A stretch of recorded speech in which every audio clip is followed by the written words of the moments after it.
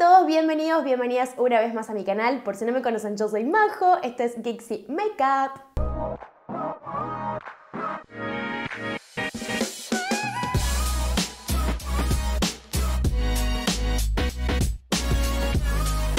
El día de hoy, como vieron en el título del video, vamos a estar probando por primera vez en este canal productos de la marca Da Pop. Pero antes, déjenme decirles que estuve bastante ausente en el canal estos días porque estuve trabajando muy fuerte. Ya prontito, prontito voy a volver a trabajar en mi estudio. Bueno, ustedes saben que yo doy clases, atiendo clientas, entonces quería aprovechar la cuarentena para hacer cosas productivas, eh, invertir un poco de tiempo en lo que es el estudio para cosas que tenía muchísimas ganas de hacer que no podíamos hacer porque no tenía tiempo.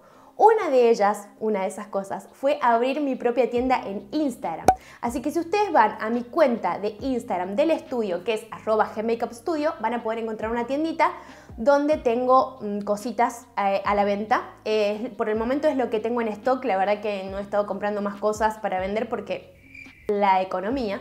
Justamente hablando del tema económico, por eso venimos hoy a probar productos low cost, que ustedes saben que en este canal si algo amamos es probar productos económicos. Esta marca en este momento es la marca más controversial que hay en Argentina y les voy a explicar por qué. Porque esta marca que es Da Pop tiene dos divisiones tiene una división en Brasil y tiene una división en Argentina. Se suele decir que los productos que se consiguen en Argentina son imitaciones de los productos de la marca de Brasil y esto no es así. Otro mito que existe también es que estos productos no están aprobados por ANMAT y eso es totalmente falso porque cada producto, les voy a mostrar por ejemplo acá esto, pero en pantalla yo les voy a estar mostrando de cada producto que trae todo esto que les voy a mencionar, trae eh, los ingredientes, el origen, el importador, el domicilio del importador, la resolución de ANMAT, el número de legajo, el número de lote, el número de vencimiento y hasta un código de barra. Toda esa información trae este polvo acá, pero esto lo voy a aclarar en cada video de Dapop que haga porque sé que a raíz de que circula esta información falsa, cada vez que alguna de mis compañeras o que alguien hace una reseña de Dapop, nunca falta la persona y nos pregunta por qué hacemos publicidad o por qué reseñamos marcas eh, que no están aprobadas, etcétera, etcétera. Bueno, como ya les decía, hoy vamos a estar probando base de maquillaje, este corrector y este polvo, pero tengo muchos más productos de Dapop que ustedes ya los van a poder ver en un próximo haul donde les voy a estar mostrando todo. Antes de comenzar, como siempre te digo, si te gusta este canal, por favor suscríbete haciendo clic en el botón que dice suscribirse. Activa la campanita, te lo pido por favor, porque YouTube no está avisando a nadie cuando se suben videos nuevos. Dale like a este video, seguime en mis redes sociales y ahora sí comenzamos.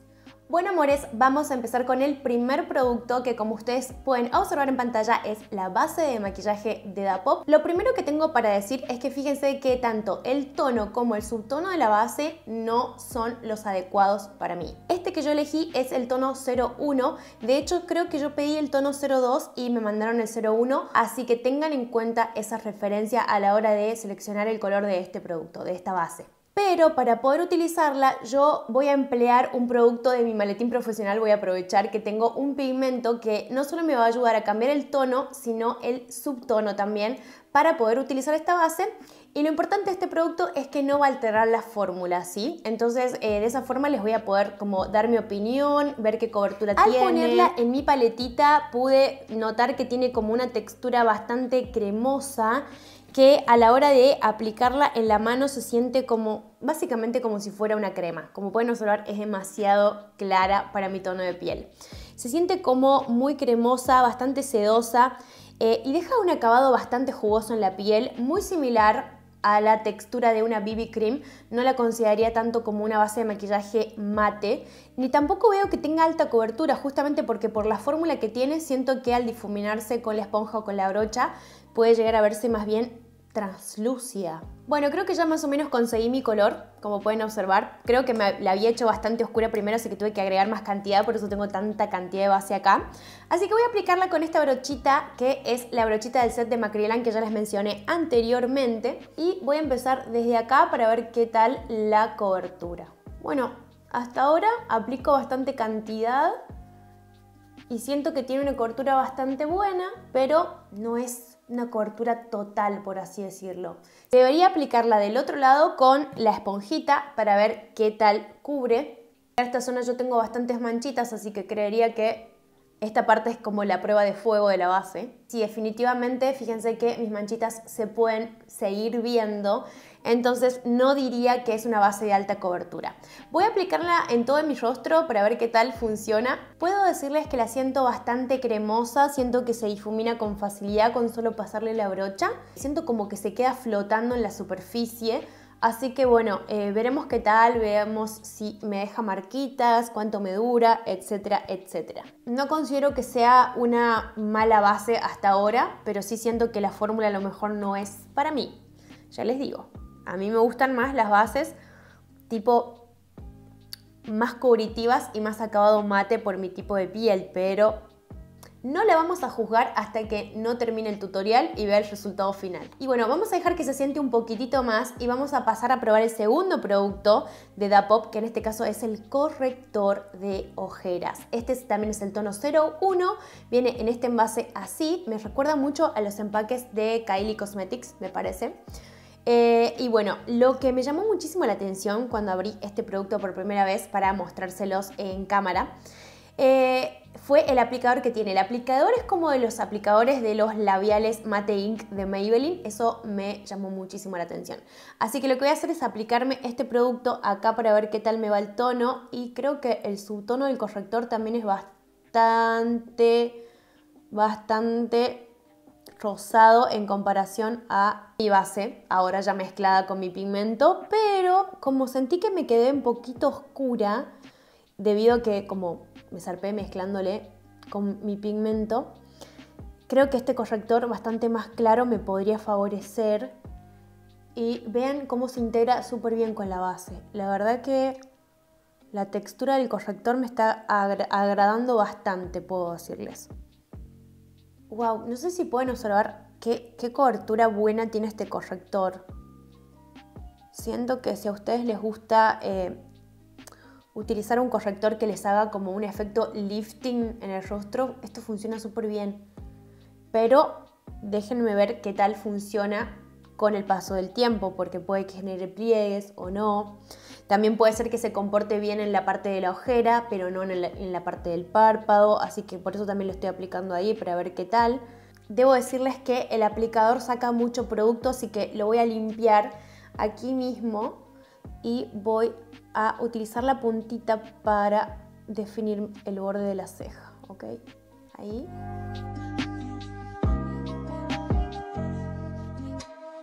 Dejé transcurrir unos minutitos hasta que me maquilló un poquito los labios porque quería ver cómo se comportaba la base de maquillaje, quería ver cómo se comportaba el corrector. De entrada tengo que decirles que miren lo que son mis párpados. Tienen muchísimos pliegues muchos más de los que normalmente me suelen hacer los correctores. Entonces me parece que es un producto que no utilizaría en los párpados. Ahora, en la parte de las ojeras no me pasó eso.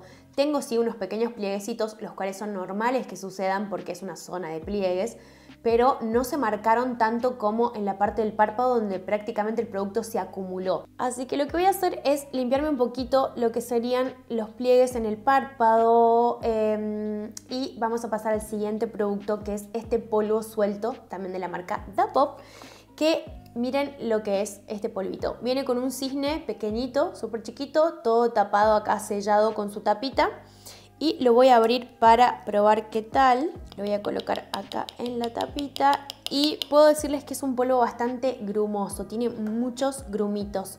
Entonces a tener muchísimo cuidado, tienen que aplicarlo con una brochita bastante suelta y romper muy pero muy bien esos grumitos porque esos grumitos cuando uno se aplica el polvo pueden quedar como concentrados en algunas partes del rostro y después cuando nos sacamos fotos se ven como manchas, ¿sí?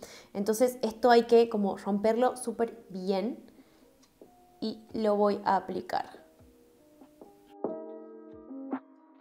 wow, el efecto en cámara del polvo, por lo menos yo lo que veo en el monitor es increíble. No sé ustedes qué tal lo verán, pero fíjense cómo me matificó, como de acá se ve como más matificado y más pulida la piel, no se me nota tanta textura en comparación a este otro lado. Pero me voy a poner así de costado para que me pegue justo la luz y ustedes puedan verlo. Déjenme decirles que este polvito tiene como un olorcito bastante a talquito, algo así a mí no me molesta para nada, pero por ahí si hay personas a las que les molesta el aroma, me sorprendió el polvo. Pensé cuando, cuando vi que era demasiado grumoso, sinceramente pensé que no me iba a gustar, pero la realidad es que me quedé sorprendida, me, me dejó sorprendida. Lo voy a aplicar en la zona T, que es la zona donde yo normalmente me aplico polvos, pero como esta base de maquillaje, ya les digo, no es 100% adecuada para mi tipo de piel, con esta brocha de polvos, también del set de Macrylan, vamos a romper bien los grumitos y me voy a sellar todo el rostro. Y tal cual creo que me pasó con los productos de todo moda, siento que la base de maquillaje se ve muchísimo mejor ya sellada con polvo. Y bueno gente, yo ya terminé mi maquillaje y les puedo dar mi opinión final por lo menos de estas primeras impresiones de los productos. La base de maquillaje, siento que la fórmula no es indicada para mi tipo de piel. Pienso que es una base de maquillaje que funcionaría muchísimo mejor en personas con la piel mucho más seca, que por ende la base se asiente mejor y a mí en lo personal siento que nunca se terminó de asentar. Se me marcaron un montón las texturas acá al costado de la nariz, acá en lo que es la zona del surco, en esta parte de acá. Es decir, siento como que no funciona muy pero muy bien con mi piel. Siento que es una base igualmente que eh, si ustedes buscan algo más natural, tipo una BB cream, les puede llegar a funcionar y eh, resultar. No es mi caso. Ustedes saben que a mí me gustan las cosas más consistentes, de más cobertura y de mayor duración. Por otra parte, el corrector es un producto que me gustó muchísimo, pero siempre y cuando estemos hablando de aplicarlo en el rostro, porque en párpados me hizo renegar muchísimo, se me hacían muchos pliegues, se me acumulaba muchísimo, pero en el rostro, de hecho, con el corrector es que puedes resolver todas las cuestiones que la base de maquillaje no me cumplía, por así decirlo. Eh, logré dar mayor cobertura, iluminar, no generó casi pliegues en la parte de abajo del ojo. De hecho, no me puse sombras para que ustedes puedan observar cómo se comportó en esta parte. Y no les voy a decir que no marcó ninguna textura porque es una zona donde normalmente se suelen marcar texturas. Pero eh, la verdad me dejó muy sorprendida, sorprendida para mm, bien, así que es un producto que voy a continuar utilizando porque me dejó bastante contenta. Eh, no así para aplicarlo en los párpados, como ya se los dije. Y por último, el polvo suelto. Es un polvo bastante pesadito, sí deja un efecto bastante HD, pero los recomiendo en especial y particular para pieles muy pero muy grasas, ya que si ustedes tienen la piel seca les puede generar algo de textura lejos de disimular porque ya les digo que es un polvo bastante grueso. Lo que sí es que siempre asegúrense de romper bien los grumitos a la hora de aplicárselo, pero en, en totalidad siento que son tres productos que en conjunto funcionan muy bien. Siento que son productos que funcionan de acuerdo al precio que tienen. Estos son productos muy pero muy accesibles, chiquis. Valen muchísimo la pena y los recomiendo a pesar de que tuve algunas dificultades, pero más que nada es por la fórmula y mi tipo de piel que por otra cosa. Así que espero de verdad que les haya gustado este video. Si es así, déjenme un like y además quiero que me digan si quieren que siga probando cosas de Dapop. No se olviden de suscribirse al canal si les gustó este video, de seguirme en mi Instagram porque ahí les voy a seguir chusmeando más acerca de estos productos y nos veremos en el próximo video. ¡Chao, chao!